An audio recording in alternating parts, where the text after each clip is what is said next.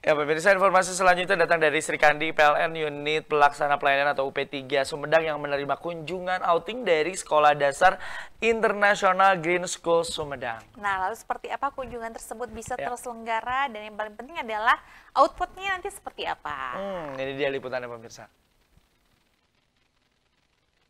Untuk mendapatkan pengetahuan tentang ketenaga listrikan dan bahaya listrik sejak dini, pelajar Sekolah Dasar Internasional Green School Sumedang melakukan kunjungan ke PLN Unit Pelaksanaan Pelayanan UP3 Sumedang.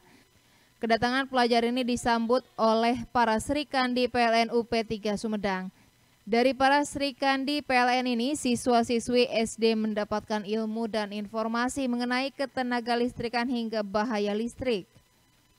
Suasana pun tambah meriah saat acara diselingi dengan kuis serta hadiah menarik dari para serikan di PLN.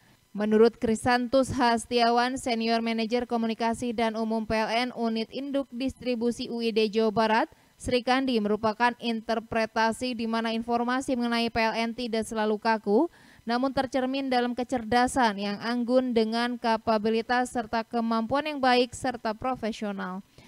Sri Kandi merupakan interpretasi bahwa informasi mengenai PLN tidak selalu kaku, namun tercermin dalam kecerdasan yang anggun dengan kapabilitas serta kemampuan yang baik serta profesional.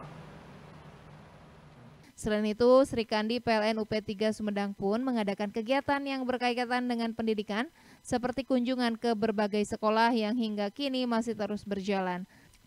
Salah satunya pemberian bantuan biaya pendidikan bagi beberapa siswa kurang mampu saat Hari Pendidikan Nasional tahun 2024.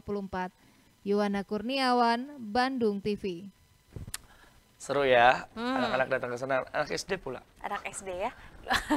ya harus diberikan edukasi yang luar iya, biasa ya, ya, karena betul, kan ada bahaya yang kita tidak ketahui ini pada saat kelistrikan ada di sekitar anak-anak entah itu stop hmm. kontaknya masih terhubung dengan Hal arus listrik ya? kemudian anak-anak sekarang kan udah bisa ngecas handphone sendiri betul, sementara betul, betul. apa eh, tenggangan dari um, listrik untuk uh, menyalurkan uh, energi ke handphone kan hmm. takutnya nyetrum jangan kan anak kecil kita kecil kadang suka Eh, iya betul. Dikit ya. Atau enggak numpuk uh, colokan uh -huh. di satu stop kontak itu juga bahaya ya. Iya, tapi masih aja deh. Masih aja terjadi. itu hal sepele yang mungkin bisa diedukasi dan disampaikan kepada anak-anak kita yang sudah mulai paham bagaimana hmm. caranya uh, mengecharge handphone atau mau nyalain ini dong TV misalnya. Hmm. Kemudian uh, menggunakan lampu, lampu dan lain betul sekali itu harus diedukasi sejak dini pemirsa ya.